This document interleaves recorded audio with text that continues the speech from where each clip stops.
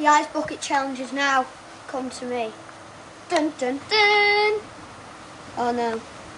Now I'm nominating Declan Neve, Colin Neve, Jasmine Neve, and Bobby O'Brien, Abby Barker, and that's it. And my mum and dad. They're doing it next. You. You know I that- goal that. I know. Love you, goal that. Which chairs today? Yeah, You're sitting on the floor here. must be mad. You ready for this? Yeah.